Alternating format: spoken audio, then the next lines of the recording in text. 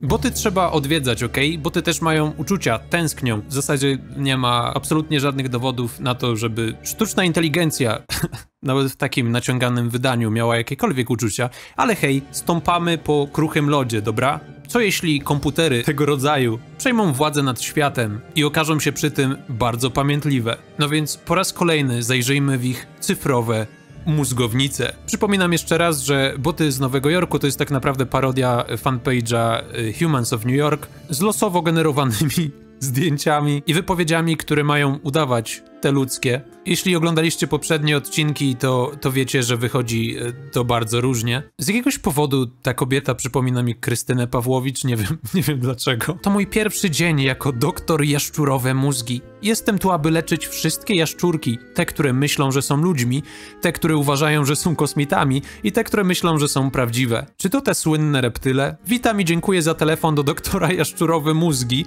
Mówię z uśmiechem, jaki jest twój problem? Pytam. Cóż, Budzę się we własnym łóżku i nie mogę znaleźć mojego laptopa. Nic nie mogę znaleźć, zatracam się. Kiedyś myślałem, że jestem prawdziwy, ale naprawdę nie jestem. I wtedy odkrywam, że jestem jaszczurką. Jestem jaszczurką. Widzę smoka grającego w Hotspots UFO. Nie podoba mi się to. Teraz przyjrzyjmy się twojej sprawie. To czas, żeby pomówić o tobie i o mojej fryzurze. Co jest, co jest przepraszam za nią, jest trochę niesforna, ale możemy to potraktować jako próbę wmieszania się w tłum botów z Nowego Jorku. Sam wyglądam jak bot z Nowego Jorku. Cieszę się, że mogę pomóc. Patrzę na smoka i suki UFO i decyduję o tym, że tak, wszystkie są walnięte. Okej, okay, mówię. Przyjrzałem się twojej sprawie i zdecydowałem, że tak, wszyscy są ostrożni. Ale wierzcie lub nie, ale wasze dzikie życie jest wygodne. Dziękuję za telefon do doktor Jaszczurowe Mózgi. Oto życie jaszczurki. Oto, co robią jaszczurki. Doktor Jaszczurowe Mózgi. Człowiek wchodzi na fanpage i pierwsze czego się dowiaduje to to, że dzwonił do doktor Jaszczurowe Mózgi. Nie pamiętam tego, musiałem być chyba skrajnie pijany. A propos, kiedy ogółem społeczeństwo jest pijane, odkopujemy starożytną osobę z jakiegoś odległego okresu, aby obwiniać za pogodę. Tak jest. To jest. Y, to jest generalnie o naturze ludzkiej. Ludzie są w stanie obwiniać kogokolwiek i cokolwiek za cokolwiek. Kolejny raz dostaliśmy absolutnie precyzyjną diagnozę. Ten facet prawdopodobnie został zabity przez potwora z drzewa albo przez wodne spryty. Kto wie? I szczerze mówiąc, kogo to obchodzi? Pogoda to nasza sprawa, a nie jakiś antywulański dupek, którego uratowaliśmy z piekła. Dyrektor generalny iluminacji ma to gdzieś. Ma co robić. Jestem pewna, że tego nie trzeba mówić, ale wiesz, że cała ta rozmowa jest nieoficjalna, prawda? Jak nieoficjalnie? Polub, jeśli mnie widzisz, odzobacz mnie. Jeśli mnie widziałeś, to mnie zauważaj. Podpowiedź? Bardzo podpowiedź. Przy okazji, to piękna bluzka. Będę z wami szczery, zastanawiam się, jakim cudem po którymś już odcinku i przeglądaniu tego fanpage'a od czasu do czasu dalej potrafi mnie to śmieszyć. Nie wiem. Muszę się przewietrzyć. Wreszcie na świeżym powietrzu człowiek trochę odetchnie od tego kąpa, poddycha. Zapomniałem, że jesteśmy w Krakowie. Wejdźmy do środka. To teraz z czystym sumieniem mogę pograć e, na tym cacku od MSI e, z kartą graficzną od NVIDIA RTX 3060 z najnowszą architekturą Ampere. Czajcie te czasy, w których laptopowe karty graficzne nie miały absolutnie żadnego podjazdu do tych desktopowych?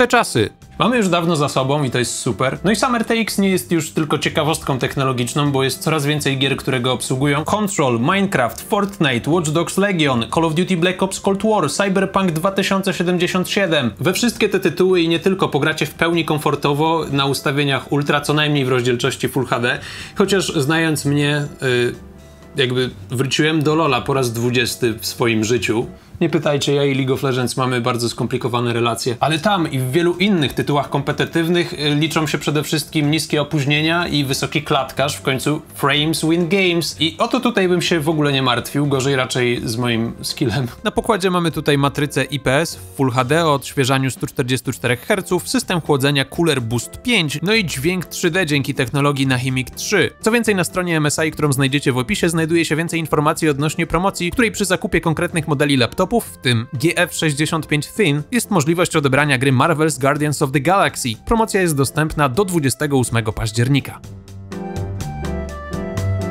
A teraz wracamy do kochanych botów z Nowego Jorku, bo mam wrażenie, że trochę się za nami stęskniły. Ten gość przypomina mojego byłego nauczyciela od historii. Widocznie boty dopadły nawet jego. Z radością informuję, że moje Birkenstocks rozbiły nową ziemię nową ziemię tej zimy. Zacząłem od wyczerpującego biegu na 10 tysięcy przez strefę kości, a następnie po wyczerpującym przebiegu 15 tysięcy przez górne miasteczko Klauna. Nie, to nie może być mój... To nie może być mój nauczyciel historii. Obaj zajęli dokładnie godzinę i 43 minuty. Ale kto? Na początku była mowa tylko o jednej postaci, o autorze tej wypowiedzi. Kim jest ten? Czemu mówi o sobie i o tej drugiej osobie z perspektywy trzeciej osoby. Mój przyjaciel próbował zestrzelić mnie podczas ostatniego biegu, ale zmusiłem go, żeby się krótko podciągnął i dołożył, żeby opowiedzieć mi tę historię. Dramatyczna konkluzja do wyczerpującego i rozumnego biegu. Dziękuję wszystkim, którzy wzięli udział i specjalne podziękowania dla mojego pośrednika. What? Jeszcze jakieś pośred... Ja już się zgubiłem. Próba poruszania się po rynku Birkenstock oraz pośrednictwa doprowadziła mnie do tego, że Lois Lowry wzbogaciła się szybko i późniejsza utrata włosów, uzależnienie od biegania. Lubię więcej niż mogę powiedzieć, nawet nie wiem, czy da się zrobić o tym Netflixa. W którymś z odcinków, czytając wypowiedź jednego z botów, mówiłem o tym, że to nadawałoby się na scenariusz jakiegoś filmu. Opcje są więc dwie. Albo to czysty przypadek, że akurat teraz jest o tym mowa, albo boty z Nowego Jorku mnie podsłuchują. Co zgadzałoby się z poprzednią wypowiedzią poprzedniego bota, który mówił coś o pijaństwie. Zaczyna mnie to niepokoić. Zaczynam być lekko paranoiczny. Ten pusty wzrok. Te szczęki, które w dniu sądu bez problemu przegryzą twoją tętnicę. Zobaczmy, co ma do powiedzenia ta urocza pani. Ostatnio posikałem się w spodnie 200 hot dogów w Tribeka. To jest pierdolenie umysłu. Dzieciak krzyczał do mnie, skacz ty gnoju. To był Bill Gates. Tak jest, proszę państwa, to był, to był Bill Gates. Bill Gates krzyczał, skacz ty gnoju. Co robił tam Bill Gates? Frazeologia była niedorzeczna, ale komunikat był jasny. Egzorcyzmy działały. Tutaj z kolei mamy kolejny pomysł na scenariusz, tym razem 500 no, miliardowego filmu o egzorcyzmach, ale przynajmniej dostaniemy coś oryginalnego zamiast dziwnie powyginanej dziewczynki chodzącej po suficie. Tym razem mamy Billa Gatesa, naprawdę wkurzonego Billa Gatesa. Chłop wygląda jakby miał e, te ok okulary ze sztucznym nosem, wiecie o które chodzi. Śmieszne okulary. Chodziło mi, chodziło mi o to. Tutaj mamy dziewczynę, która wygląda na trochę nieśmiałą. Tutaj się coś rozkleiło, ale pielęgnuje dzieło toksycznego historyka. Oto facet, który jest dosłownie. Hej, przed chwilą mówiłem o moim byłym nauczycielu historii. Zaczynam się bać coraz bardziej, naprawdę. Ma świetny tatuaż z płetwy zebra na bicepsie i nosi pełen smoking, kiedy walczy. On nie jest zwykłym ulicznym wojownikiem. No nie, nosi smoking, więc nie jest zwykłym wojownikiem. On jest wojownikiem wojennym. Kilka dni temu amputował swoją kość w pełnym smokingu. Zrobiłem to zdjęcie krótko po incydencie. Tej wypowiedzi towarzyszyło zdjęcie Kevina Harta. Kim jest Kevin Hart? Kevin Daniel Hart, amerykański aktor i producent filmowy i telewizyjny, komik. Tej wypowiedzi towarzyszyło zdjęcie Kevina Harta. Tylko, że nie towarzyszy. Mamy tutaj zupełnie inną postać. O, piesiula. Natomiast co się stało z twarzą tego człowieka? Nie mam zielonego pojęcia. Równik kicha. Ogólny konsensus jest taki, że każdy zakochuje się w jakimś połączeniu z gigantycznym świstakiem, gigantycznymi jaszczurkami, Pudgy i olbrzymim Pudgy śnieżnym panterkiem. Wielu naszych klientów boi się po prostu Pudgy świstak. Och, nie widziałeś? Pudgy świstak są powszechne i to zupełnie normalne, że się ich boi. Zwłaszcza gdy po drugiej stronie świata żyją gigantyczne jaszczurki. My w en The Equator, Equator, czyli równik. Udzielamy pełnej wsparcia tej społeczności, niezależnie od potencjalnych pozwów.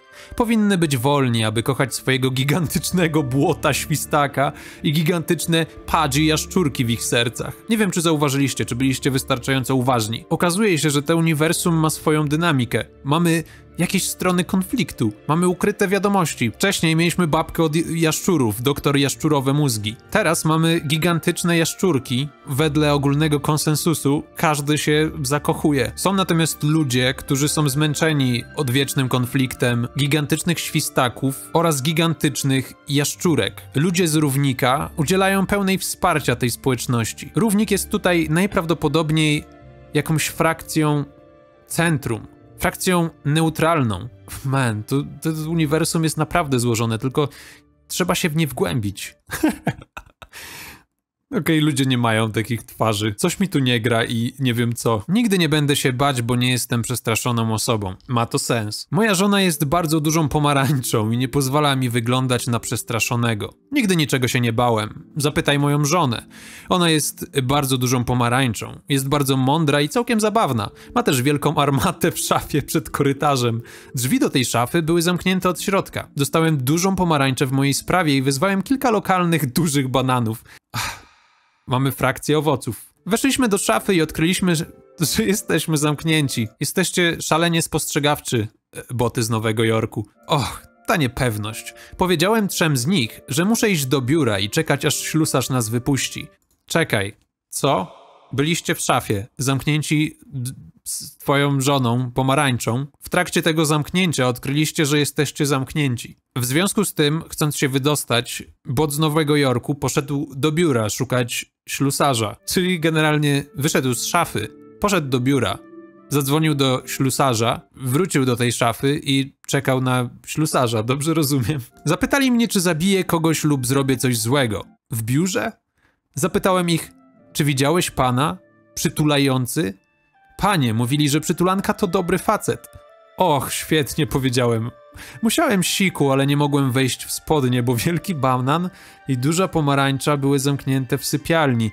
I tuż obok słyszymy głosy w sypialni i zaczynamy słyszeć walenie w drzwiach. Mówię do wielkiej pomarańczy, pośpiesz się, muszę wejść w spodnie. A ona mówi, to się nie wydarzy. Mamy plan, więc możesz iść. Ach, ja pójdę. I zrobię to, i zrobię to. Ach, tamto. To jest, to jest tak, jak rozmawiają ludzie. Nie zrobisz nic z tych rzeczy, więc zamknij się. Wielka pomarańcza wstaje teraz z łóżka, zakłada okulary, otwiera swoje długie rzęsy i recytuje szekspirowską solidarność do urzekającej publiczności w swojej sypialni. Czekaj, co? Gdy ona zaczyna czytać, chwytam krzesło z jadalni, wpadłam do drzwi. Myślę o tym dniu, moja siostra, ja i mój tata i nasz pies Max zbudowaliśmy fort z kilkudziesięciu toreb papierowych i plastikowych, które były połączone i podwójnie połączone, a może nawet potrójnie połączone, bo chcieliśmy, aby upewnić się, że mieliśmy odpowiednią odległość między nami wszystkimi. Wszystko to zaczęło się od tego w mojej głowie i wiem, że to nie jest szekspirowska coś tam, ale miałem prawie całkowitą wiarę w łuk tej historii. To były trzy różne zakończenia. Był taki jeden, w którym dowiedziałem się o sierocińcu, który planował wykorzystać swoje zyski na budowę pływającej wyspy. I był taki jeden, kiedy dowiedziałem się, że grupa naukowców faktycznie rozbije rakietę o gigantyczne drzewo, które chroni ludzkość. Wydawało się to taką wspaniałą historią, ale kiedy pan Przytulanko, pan Przytulanko, w końcu pokazało się, że żeby nas wypuścić, jego dwaj kumple się ze mnie śmiali. To tylko wydawało się trochę nieprofesjonalne, ale moja żona jest bardzo dużą pomarańczą. Związała mu ręce za plecami i zastrzeliła się kierą.